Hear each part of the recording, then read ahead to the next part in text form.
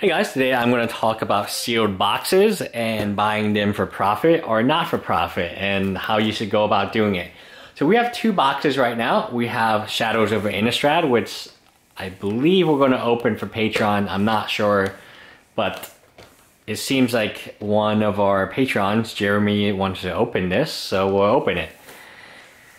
And next we have RTR. The reason I want to talk about RTR is because out of all the boxes in the future set, people have said this one was a great investment. When RTR first came out, people were buying cases of this to store, including a local game store I know.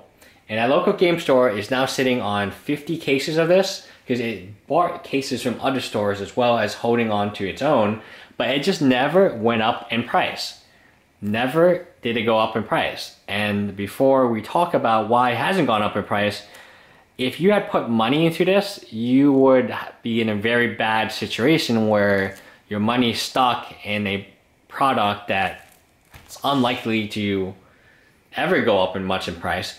And the reason that a modern set like RTR or Shadows isn't it used to be back in the day you can buy a box of Arabian Night one day become $25,000 and that was great.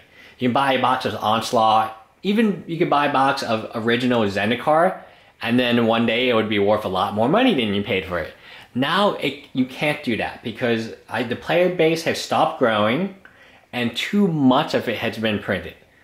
Too much of it. Like there's no recent set that I would ever advise you to invest in. And people will say, how about Eternal Masters? Because it's a limited set.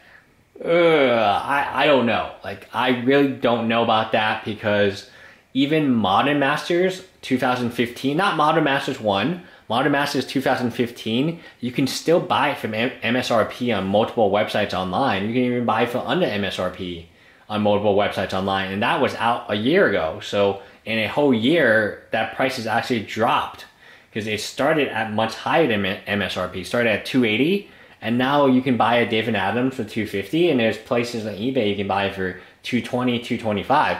And even at one point in Dave and Adam's, I got it for like 200, I think, or 210.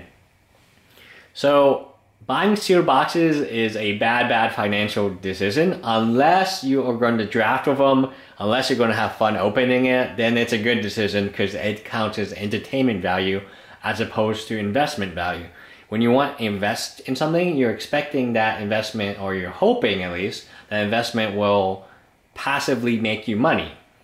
Well, yes and no. You don't want to commit money into boxes, but all the recent boxes, starting from RTR, even of Tarkir, so many people were sitting on so many cases of of Tarkir. He's like, oh, this will be valuable someday with Fetchlands and whatnot. And that logically made sense. That logically makes sense but RTR, which has been unprinted um, for such a long time, and having Shocklands, Abrupt Decays, I love this set. Value-wise, in terms of power level, there's not a set that can really compare to RTR in my opinion. But it hasn't gone up. It's still $80 a box. Anyway, bye.